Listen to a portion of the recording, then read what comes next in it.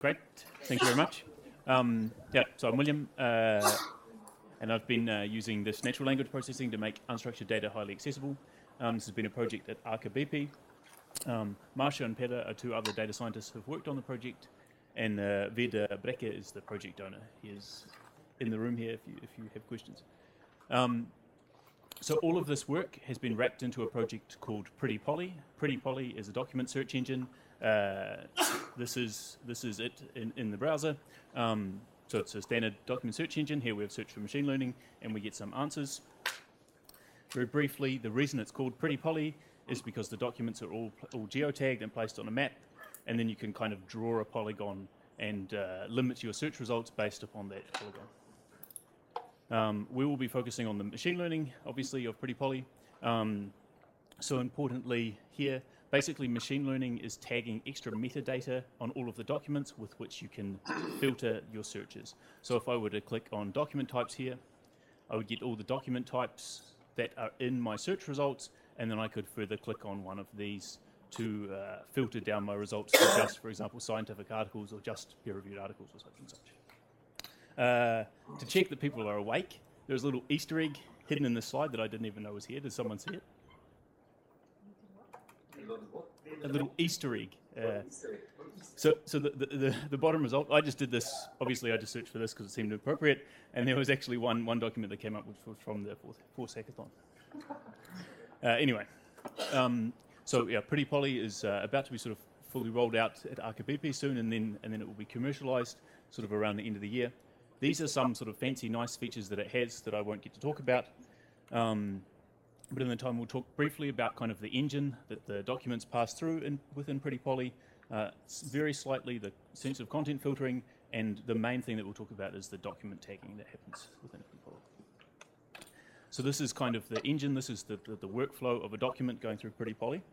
So the basic idea is that uh, our company, Aker has a large number of documents that sit on some file system that any, everybody's just kind of put their documents there over a long period of time. These could be any type of documents, not just PDFs, but you know, Word, Excel, whatever type of document. And we want to make these documents extremely accessible, you know, through Pretty Polly. So the flow is such, they go into the cloud, um, and then we do this content extraction. So basically this is all documents get transformed into a JSON file. One of the fields is just the text content of the document, uh, and there's a bunch of other kind of metadata that are in those. Then these JSON files are enriched by various things. Uh, kind of the important one, and what we're talking about here, is the machine learning classification. This is just, this could give any tags that you want. At the minute, we basically identify the doc type. That's what we'll talk about in the talk. We also identify language and keywords, also metadata that you can kind of help your search with. The final little note is that we have uh, a main index and a sensitive index. The sensitive index is obviously for, you know, you need uh, privileged user rights to access this, and some of the machine learning tags help the filtering between these two indexes. So we have to think a little bit when we do our machine learning that it could be could be useful for this kind of filtering over here. And then obviously our enriched uh, documents go through to the kind of the net, you know, the, the interface that the user sees, which is what was on the previous slide. Okay, so uh, from, from the data scientist point of view, uh, this is kind of what we have to work with. This is the data. Um, so there are something like 3.2 million documents. Of those 3.2 million documents, there's obviously many, many different classes of documents. Uh, but we currently only have 20 different classes that have actually like human labeled uh, names of the classes. And there are around sort of 60 to 2,000 uh, examples per class in those classes. So here are all the kind of different classes that we currently work with, and on the very far right, the number of examples we have in those classes. So this, this small subset basically forms the training set for our machine learning.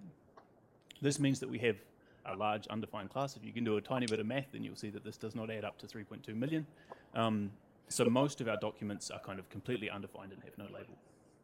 As a little side note, we do actually have some kind of known unknowns. That is documents that are actually tagged as being kind of from the unknown class. Well, basically, this means these documents here, this 459 or whatever it is, are not in any of these 20 classes here. So we can also use those in our training. Um, I will skip over this fairly quickly just for time, but basically to note there is also a feedback loop. So uh, we've had beta testers using this, and we have a few people that actually do some tagging for us kind of explicitly. But when users use Pretty Poly, they can re-tag documents if they think they're incorrectly classified, and that information kind of gets back processed through to the machine learning, and that those new labels can help the next kind of training, and then we would have some kind of retraining on some schedule. Uh, so basically, user feedback will improve the quality of the of the machine learning within Pretty Poly. Um, this is kind of somewhat a summary of all of what I've said from the perspective of the machine learning model. So this is the demands on the machine learning model. So the first obvious thing is that we have this large unclassified class. Uh, so this, so technically this means we're doing open set classification. Uh, we will have a growing number of classes if we add additional classes with data, and a growing number of examples per class. This is this is like also a very good thing. Obviously, we want more more data. Uh, the documents have multiple languages. The documents can uh, like extremely varied documents. We saw at the start. These can be you know long Word documents, or they could be you know uh, an Excel spreadsheet. And in particular, if there's something you know some more data type document, they can have completely illogical sentence structures. It could just be a list of, of headings of you know columns in a, in a, in a spreadsheet. Um, so this will kind of inform how we have to deal with our data. And then finally, this varied class importance. Um, one of these classes in the previous slide here, uh, contracts. So this is an example of a class that we care a little bit more about because this is going to be used in our sensitive content filtering. So errors on that class are more kind of costly errors than other classes. So we need to kind of think a little bit about this.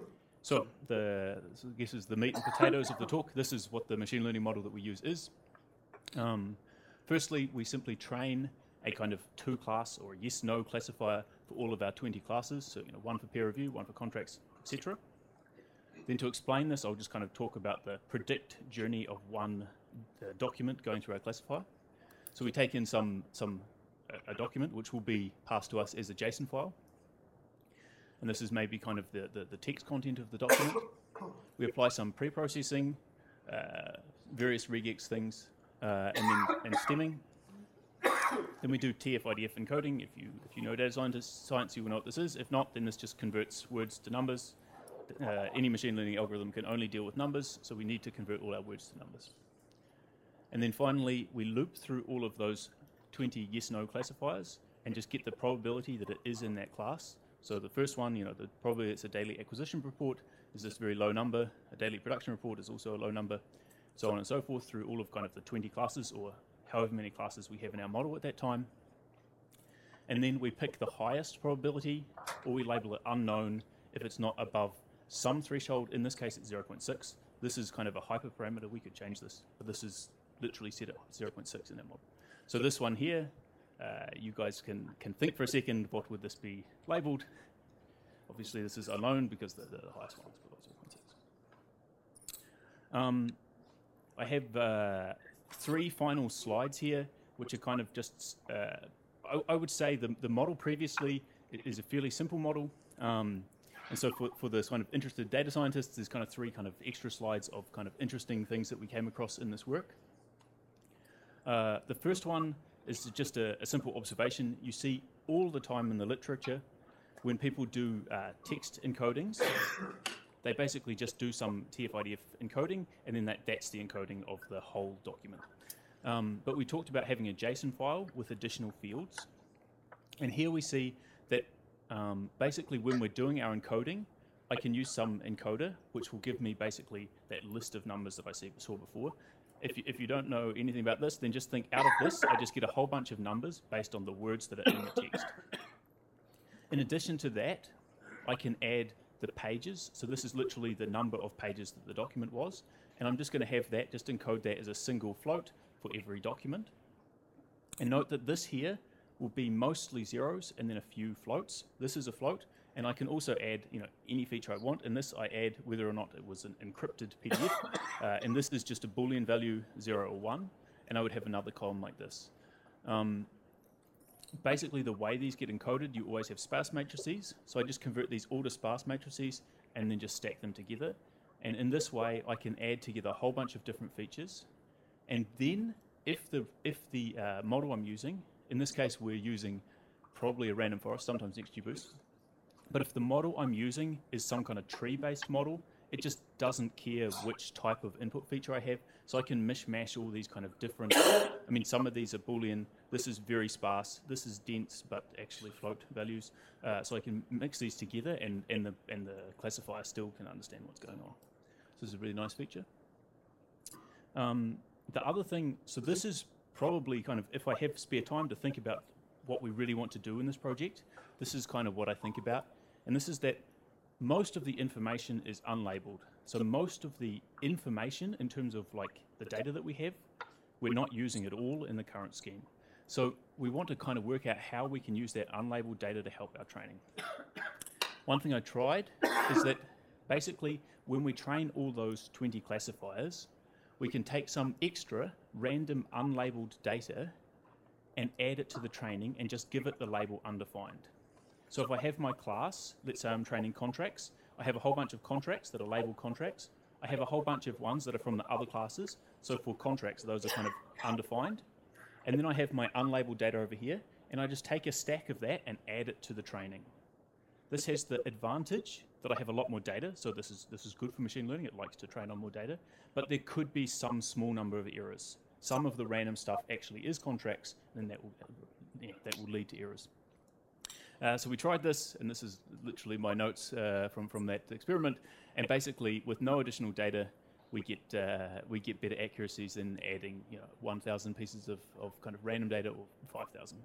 Uh, the with ROS, this is random oversampling. Basically, here we're trying to get around kind of a, a, technical problem which happens when you add just to one class, and even doing that, we, we just doesn't help.